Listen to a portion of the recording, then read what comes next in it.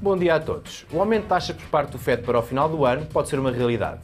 Mas o risco inerente a esse aumento e a possibilidade de ser demasiado cedo pode ser afastada se os dados económicos não suportarem.